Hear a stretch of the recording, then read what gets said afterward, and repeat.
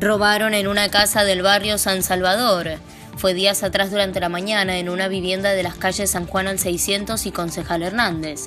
La víctima, una mujer de 38 años, estaba trabajando y la niñera de su hijo la llamó para informarle tras descubrir el hecho cuando llevó al niño a su casa.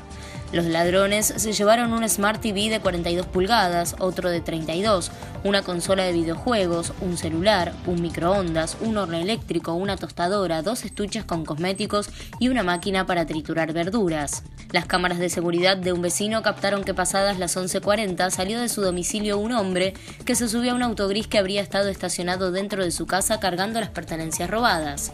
El día anterior, observaron a dos menores en el baldío lindero al domicilio que habían estado allí unos 45 minutos y sospechan que se relacionan con el robo. Fuerte choque de motos deja tres heridos, dos de ellos de gravedad. Fue días atrás a las 20:15 en una calle que conecta con la ruta 28 en Marabó. Una moto Corben 110 centímetros cúbicos en la que iban dos personas chocó contra una Honda Tornado 250 en la que circulaban otras dos. Tras el impacto hubo tres heridos y dos de ellos serían de gravedad. Fueron atendidos por SAME y trasladados de urgencia al hospital. Una víctima sería una joven de 26 años que habría sufrido fractura de cráneo y que se encuentra en delicado estado. Otro de los graves accidentados sería un hombre de 28 que estaría estable. Además, trascendió que una persona más habría sido atendida, aunque con lesiones menos severas. Incendio en una casa. Un hombre fue hospitalizado. Fue el viernes durante la madrugada en la calle Sarmiento al 1250. La víctima tendría unos 40 años y fue intoxicada por el humo. Los móviles 9 y 16 de bomberos actuaron por una hora y media y con una línea de 38 milímetros para contener la propagación, al tiempo que se utilizó un equipo de respiración autónomo. En medio de las tareas, los agentes rescataron al hombre, Silvio, que según averiguó el medio La Posta, habría querido intentar apagar las llamas por su cuenta. Fue trasladado al Hospital Vicente López por una ambulancia del SAME. En la casa también estaban la esposa y las hijas del hombre, quienes salieron sin lesiones. En cuanto al origen del incendio, se trataría de un cortocircuito eléctrico en uno de los ambientes, mientras la familia entera se encontraba durmiendo. Ese ambiente completo quedó afectado por el fuego.